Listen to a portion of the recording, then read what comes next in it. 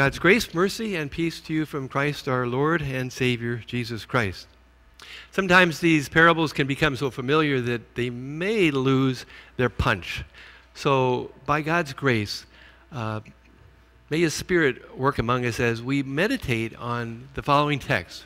Jesus said in our gospel lesson in the 18th and 19th verse, Hear the parable of the sower. We've heard it many times, right? But as I prepared for this morning, it also reminded me of his words in John 12 24, where he said, and you probably can't see this from where you are, but unless a seed falls into the ground and dies, and he was talking about himself, he said, it only remains a single seed. But if it dies, it produces many seeds. Okay? The parable of the sower. Well, in our gospel lesson, Jesus went on to say, when anyone hears the word, and that's the key right there. Let's begin with a prayer. Lord God, we've heard words uh, throughout all of our life. Some of them we've understood and paid no attention to, other times they sink in. Lord, may this parable and the words that you spoke through your Son, Jesus Christ, and that we hear today, may they sink in and produce fruit. As we just sang, when Satan tries to steal that seed away and we don't even put up a fight, we pray that your Spirit would remind us to hold on to that precious seed, that it might bear fruit for your glory and your honor through Jesus Christ. Amen. Well, having lived in Nebraska now for probably a decade, and I went to school down at Concordia Seward growing up in Colorado, seeing the harvest here in Nebraska is pretty dramatic. And so, as I think about the parable that Jesus presents for us in our gospel lesson this morning, it occurred to me if anyone would understand this parable, I would think it would be the people of Nebraska. Amen? All right. Well, maybe I should just sit down because you already know it all, right? Well, none of us get to that point where we know it all. Certainly not pastors, and certainly not any of us. As I thought about the gospel this morning, uh, Terry, could you put the, the sower up on the screen there? So I thought about this gospel lesson for this morning. Made me think. Our new license plates replace the goldenrod sprig and the meadowlark with our capital's sower. I don't know if we've got it up there, but you might have saw it as we began. That big bronze sculpture on top of the Capitol. If you look closely at the new license plates, you can kind of see it in the background on all the new license plates. Maybe you've got one, okay? Well, I bring that up because months ago, when Governor Pete Ricketts unveiled this new design, he said that it incorporates a lot of things that are unique to Nebraska. The sower represents agriculture, and that's important in our state. And the design depicts, as you can see, an individual reaching into a pouch and sowing seed. We don't do that anymore. It's done in a much uh, more, maybe it's more efficient. Certainly, it's, it's, it's higher technology with all the, the machines that I don't even begin to understand. Maybe you do, how they distribute all this seed in acres and acres and acres across all the farms in Nebraska. Well, thinking about the theme and our license plate, you probably know, I didn't know that until this week, that Nebraska state law requires that a new license plate be issued every six years. So, my suggestion as we think about the gospel lesson for this morning is as we look at this license plate and look a little closer and see that little sower on the car in front of us, may it remind us for the next six years to be open to God reminding us of this parable a sower went out to sow. God obviously wasn't talking about seed corn. He was talking about the Word of God. But his intent was, as he did long ago, so today, his intent was that we would consider how similar the Word of God is to the seed that Nebraska farmers plant in their fields every single year. Doesn't matter what the method is, whether it's scattering it that way or it's through machinery, modern machinery that does acres at a time. The point is what Jesus has to present to us this morning. Well, before we get to the, the, the lesson for this morning and think about the seed that God's planted in our heart, you know, I'm sure far better than me, that farmers spend a lot of hard earned money on good seed. They don't just randomly pick any seed whatsoever. I didn't know that until this week, where as our elders and our church council met, there was this pen on the table in the library there where we meet. And evidently, there was somebody here who uh, was a distributor for Curry seed corn and other kind of corn, soybean and whatever.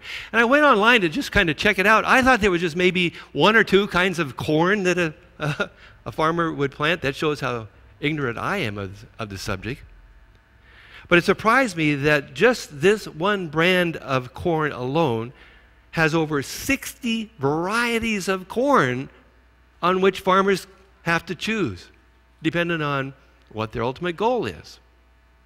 Well, bring that up because as farmers plant corn, it isn't a willy nilly operation that, that they're doing flying by the seat of their pants. And it isn't a willy nilly thing that God does either as He plants one specific seed into our heart through Christ Jesus our Lord.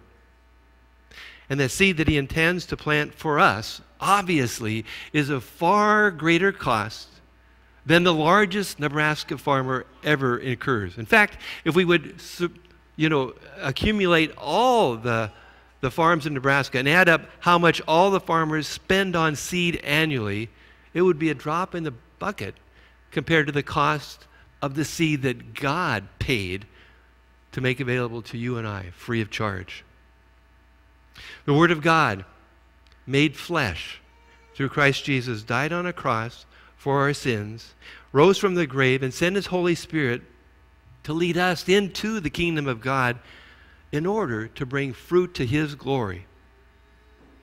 Obviously, there aren't 60 varieties or choices when it comes to the true Word of God, although the world would have us think that.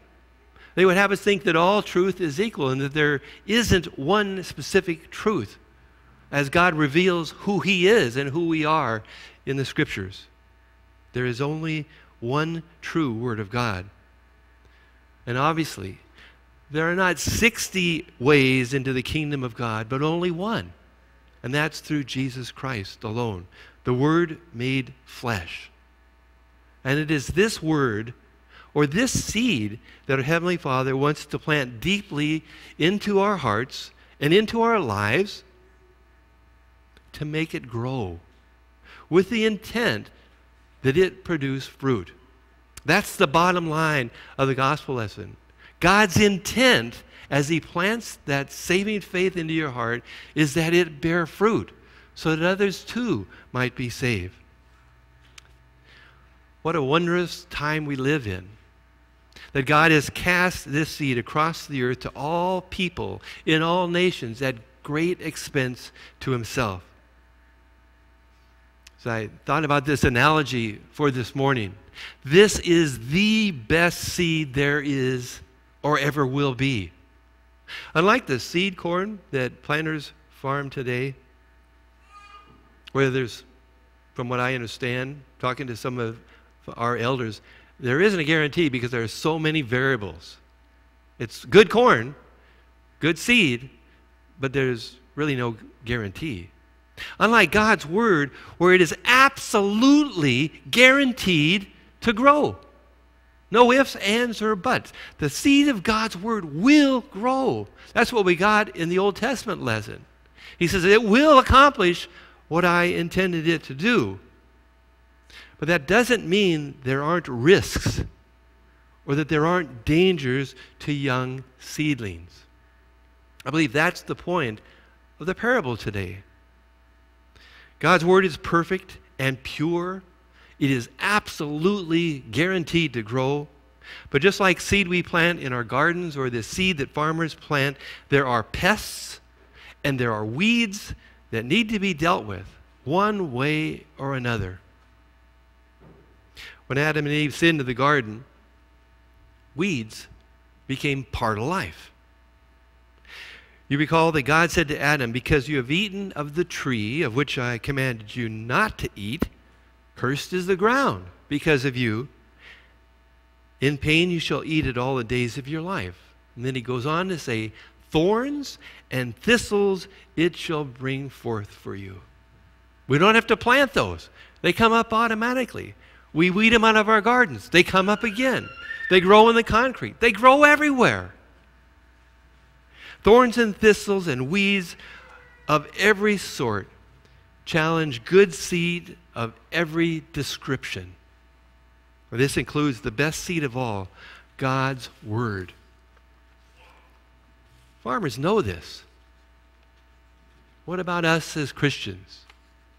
Are we surprised when weeds crop up in our life? We shouldn't be. And if we are aware that weeds will grow up and they need to be attended to, what do we do? What are we doing to ensure that the seed of God's word planted into our lives and in the lives of our children and our grandchildren and our nieces and nephew make it all the way to maturity and then the goal is to yield fruit that bears a hundred or sixty or thirty fold what was planted. Farmers don't pay $300 or more a bushel. I don't know what the current price is for it. Just to break even, right? That would be foolish. Their goal is naturally to have a harvest that brings them a profit. And God is looking for a harvest too. Jesus didn't die to be the only one to rise again and go to heaven. In our gospel lesson, Jesus points out there are only three things that keep a harvest from happening. And just like farmers in Nebraska, you and I have a fair amount of control over the things that work against God's word bringing fruit in our lives. It isn't just willy nilly, I hope this doesn't happen. God gives us the ability and the foreknowledge to deal with all that would hamper the harvest of the kingdom. Jesus points them out in these three ways. He says, number one, what stops the harvest from growing is not understanding the word. And then he repeats that throughout the gospel lesson. Two, he says, the second thing that stops the harvest is roots that are prevented from growing deep into the eternal word of God. And the third thing, roots, the plant's growing, but the roots are choked out by weeds. I asked our leaders this past Thursday as we gathered around the, the table in the library have you ever re- read or heard parts of God's Word that you haven't understood? And just about everybody raised their hand. All of us have. That includes pastors. There are parts of God's Word that are hard to understand. And so we have one of two choices.